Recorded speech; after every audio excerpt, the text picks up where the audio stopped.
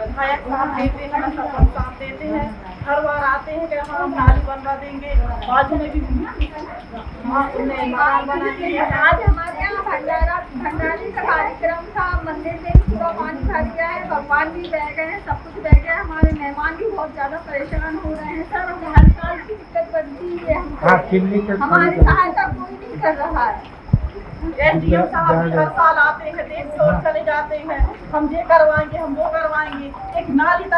तक तो नहीं सक रहा है यहाँ पर नाली यहाँ पे आपको नाली में सरपंच साथ देते हैं सरपंच जी बस बोला हुआ आया जो वो दे दो हमको ऐसा करो हमारी दुकान की दुकान है भी पास पानी जा रही है सामान नहीं भर रही है सर है बच्चे हैं तो बच्चे हैं सर क्या करें। हैं? कोई सुनवाई नहीं होती हमारी?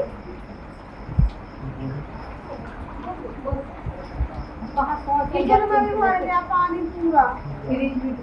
फ्रिज किचन में कमरा में पूरा पानी दो कमरे बच्चे हैं जो ऊपर है बाकी पूरा पानी पानी है। नहीं पैसे नहीं पूरे हमारे गाड़ी के चार्ज चार्ज है गाड़ी हो गई। बच्चों की हमारा पूरी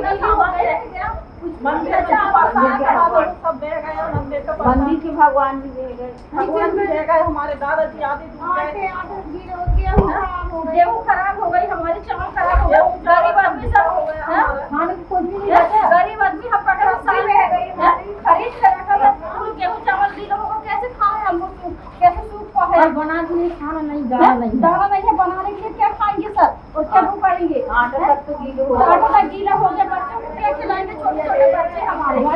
बहुत मुश्किल है हमारे सरकार जगह में मकान बना रहे है।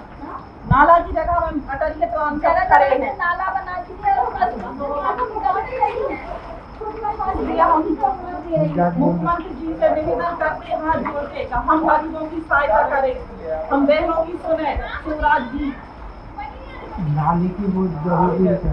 हमारा मकान बनवाए हर गाँव ग्राम में मकान तैयार होगा और हमारी एक जो पिपरिया ग्राम है उसमें किसी के मकान तैयार नहीं हुए न सरपंच ध्यान देता न सचिव ध्यान देते यदि आप ये वीडियो YouTube पर देख रहे हैं तो हमारे चैनल को सब्सक्राइब करें और बेल आइकन को दबाना ना भूलें। अगर आप Facebook पर ये वीडियो देख रहे हैं तो हमारे पेज को लाइक करें। आप हमारे WhatsApp चैनल बंसल न्यूज़ को फॉलो कर हर दिन लाइव अपडेट्स भी पा सकते हैं।